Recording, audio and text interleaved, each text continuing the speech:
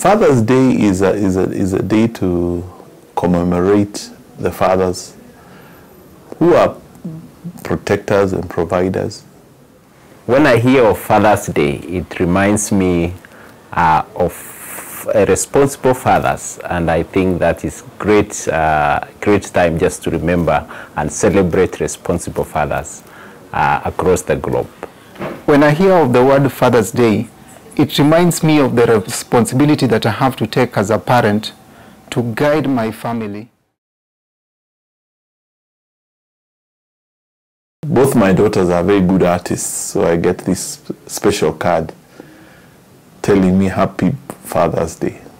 One day, my daughter I just took time and, and, and wrote a note of appreciation of, of, of, of the great uh, sacrifice that I've done for her, and I think that moved me greatly. Uh, and I think that was uh, some gave me some energy to do even more and become more responsible father to her and to the rest of the siblings. Father's Day reminds me of, uh, of uh, seeing my little daughter grow up from uh, the stage where we had to learn how to write. Uh, we could make these uh, funny scribbles and uh, with the continuous effort through coaching her, she was finally able to do the alphabet.